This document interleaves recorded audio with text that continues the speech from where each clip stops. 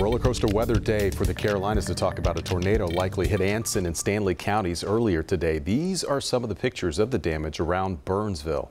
The National Weather Service is headed out to the area tomorrow to confirm. Closer to home, down trees and power lines cut off power for about a thousand customers in Charlotte earlier tonight. This is near Novant Medical Center. Less than a hundred remain without power.